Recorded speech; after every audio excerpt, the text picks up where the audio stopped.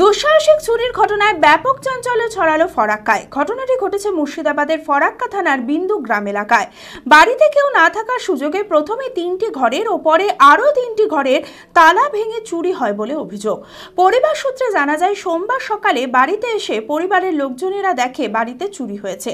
খবর পেয়ে ফরাক্কা থানার পুলিশ এসে গোটা ঘটনার তদন্ত শুরু করেছে।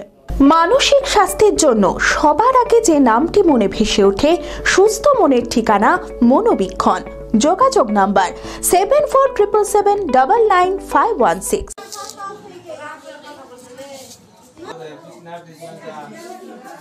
Farakka থানার বিন্দুগ্রাম এলাকার এক বাড়িতে দুঃসাহসিক চুরির ঘটনায় ব্যাপক চাঞ্চল্য।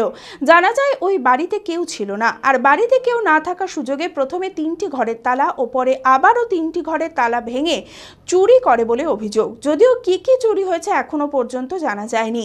এই ঘটনায় ফরাক্কা থানার অভিযোগ দায়ের করেছে পরিবারের লোকেরা। যদিও কি কি চুরি হয়েছে এখনও পর্যন্ত পরিষ্কার নেই। এই ঘটনায় ফরাক্কা থানায় অভিযোগ দায়ের করেছে পরিবারের লোকেরা। এই ঘটনায় আতঙ্কিত এলাকাবাসীরা। ফরাক্কা থানার পুলিশ গোটা ঘটনার তদন্ত শুরু করেছে। এ সকালবেলা তালা খুলে এসে দেখি যে তিনটে ঘরের তালা চাবি ভাঙা আচ্ছা। তারপরে আমি আসলাম ব্যারেজ থেকে খবর দিল আমাকে। ব্যারেজ থেকে এসে দিচ্ছে আবার পরে এসে এক ঘণ্টা পরে এসে দিচ্ছে আরও তিনটে ঘর তালা ভাঙা। টোটাল ছটা ঘরের তালা ভাঙা। পাঁচটা ঘরের তালা ভাঙা আর একটা মনে হয় জানলা জানলা ভাঙা আছে। এর আগে কোনো দিন হয়নি আমাদের এখানে এরকম বড় ঘটনা। তো এটা বাড়ি ফাঁকা ছিল হয়তো কে আমার ভাই গেছিল শ্বশুর বাড়িতে একটু শরীর খারাপ ছিল। আতঙ্ক তো লাগছেই যে একটা পরিবেশ এখন যদি আবার নেক্সট হয়। এখন আইডিয়া কিছু বলতে চাই মা আসবে বাইরে গেছে মা শিলিগুড়িতে থাকে। মা আসলে বুঝা যাবে আমি আমার ফেভারিট আমার মতো আর কেউ?